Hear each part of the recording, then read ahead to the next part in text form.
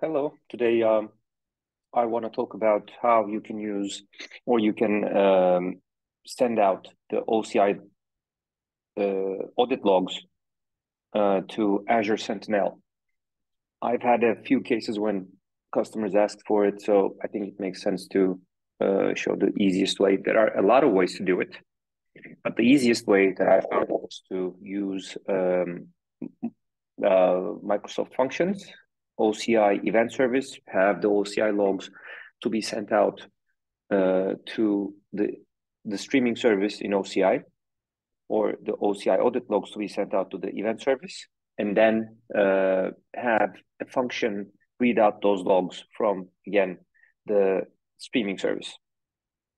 So for this, first you need to create a Microsoft Sentinel instance workspace, which I already have. And then you go into the Content Hub. Then search for Oracle. You have uh, OCI as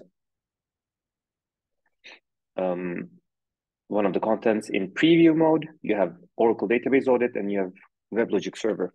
So what happens is you get the uh, analytic rules, uh, data connectors, hunting queries, parsers, and workbooks we created when you have this uh, provisioned. Once you install it, then you get the chance to manage it, or you get the manage unlocked, the manager menu unlocked. And then you can see, as you can see here, we have a yellow exclamation point saying this needs to be configured.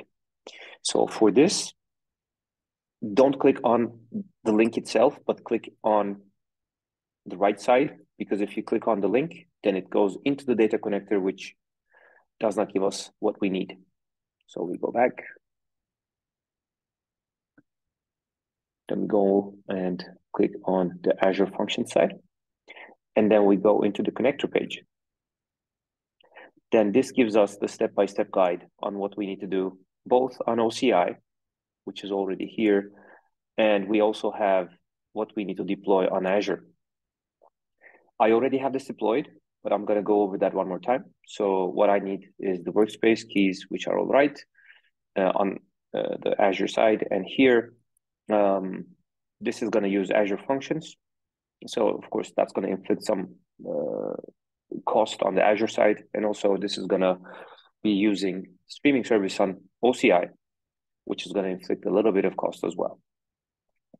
So here, I just need to go into the OCI side.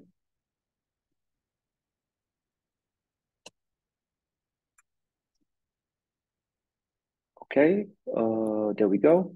On the OCI side, I go into analytics and streaming.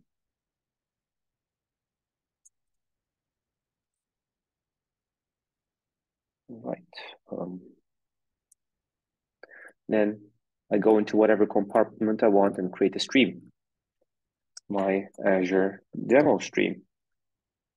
And then I can select a new pool, an existing pool, or create a, a new pool. And then create stream.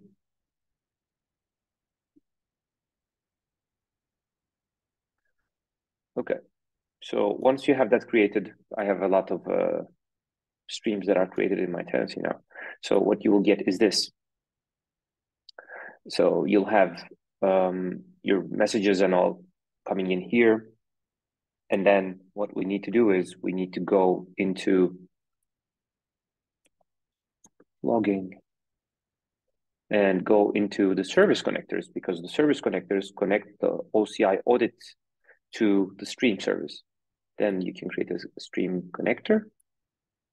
My demo, my my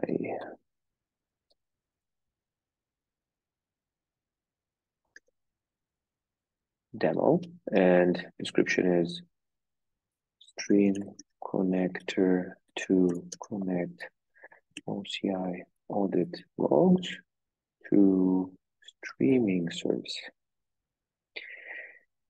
resource compartment is going to be um, my own compartment.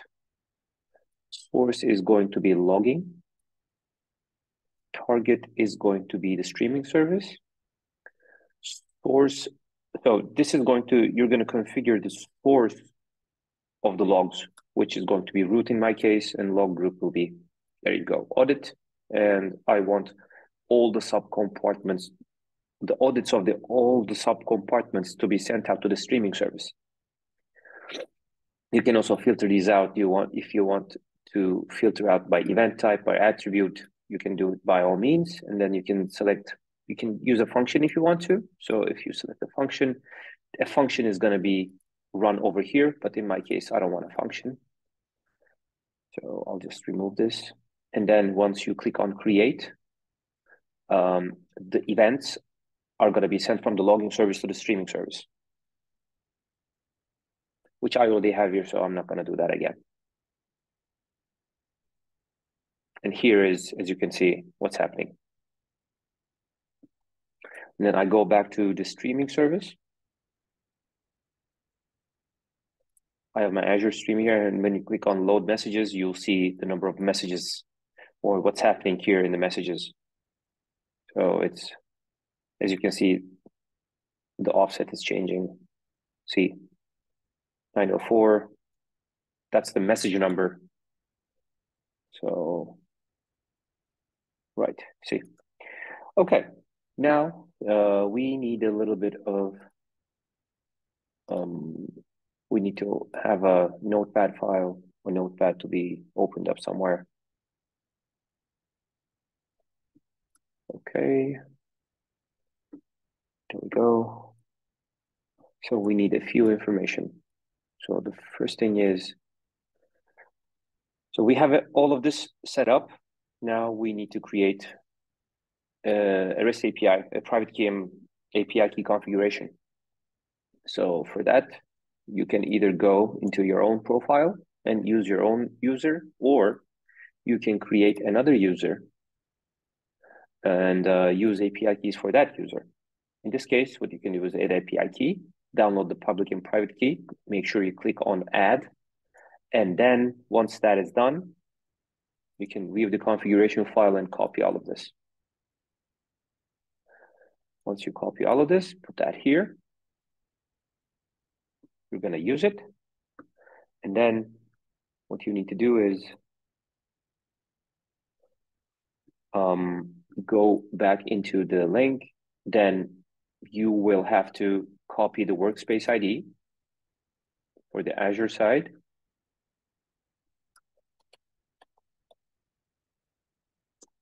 Keep that somewhere. And then primary key. Keep that somewhere too. Uh, that didn't work. Okay, now it worked. And then the easiest thing, just go and click on deploy to Azure. Now this opens up the functions portal for you to deploy uh, the function that is going to go and connect to the OCI event service, the streaming service. And then that's going to get the logs from the, the, the streaming service and then ingest them into uh, the Azure Sentinel. Okay, so function name OCI logs demo. Uh, at most, okay, D. So work Sentinel workspace ID, which we already had at right now. Here, shared key, which is the primary key, is going to go here. So the user is the user for Oracle, the OCI, which is going to be found here. Key content is the private key, uh, which you have to go and um, get it from your downloads. Open with other.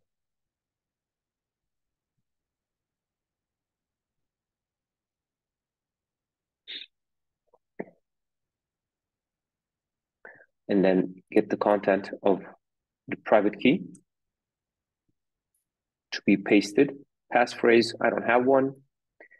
Fingerprint is the fingerprint that is found here. Tenancy is your tenancy OCID, which is found here again, region, guess what? It's also found in the region over here. Message endpoint and stream OCID, you go back to your streaming service.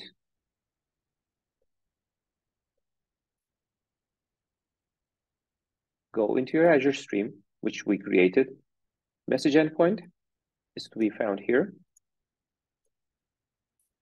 And stream OCID is the stream OCID that is found here.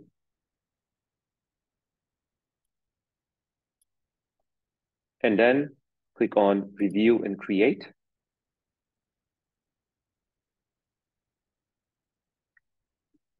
Okay, something failed.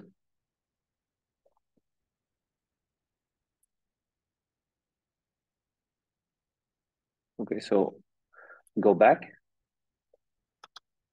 Just change this with a D because the logs are going to be, because there's, I believe there's a problem with the underscore here. Let's try one more time. Yes. And then we create. So this basically is going to go and do the same logging twice. Yeah, it doesn't matter. So this is being uh, deployed.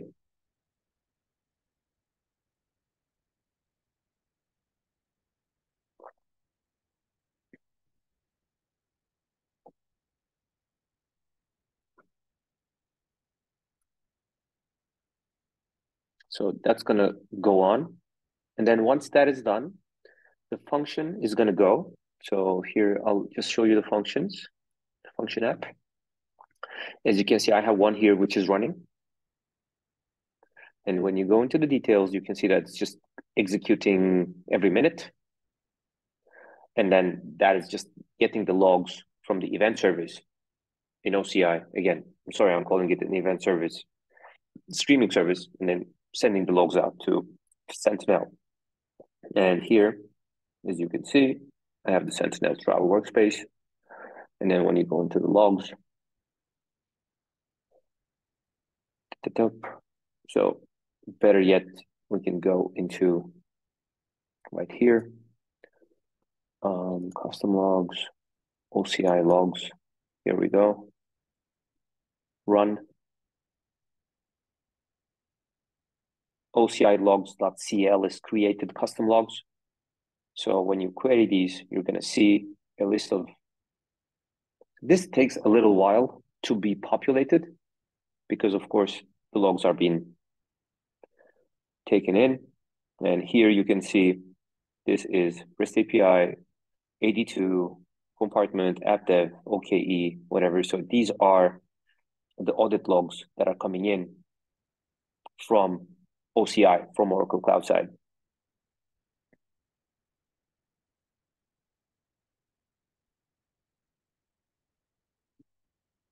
So that's from 1045. So again, the customer VMI being created or whatnot. So this is the easiest way that I found to get data or to get the audit logs from OCI to uh, Azure Sentinel. You can also um, go into the Content Hub. And when you type in Oracle here again, you can see, uh, I mentioned this before, database audit and WebLogic server. So if you go here and install this, you also get some rules and uh, you can install the agent on the database, on an Oracle database, which resides in OCI or anywhere. And then get the logs to syslogs, the audit logs, and then to uh, do the monitoring of the database here in, in Azure. Again, the same thing, but for this, you just need to also configure uh, the database audits, and then these are going to be uh, shown in. So yeah, if you have any questions on or anything that you want to add, please put them in the comment section below. Otherwise, I hope you enjoyed this. Thank you.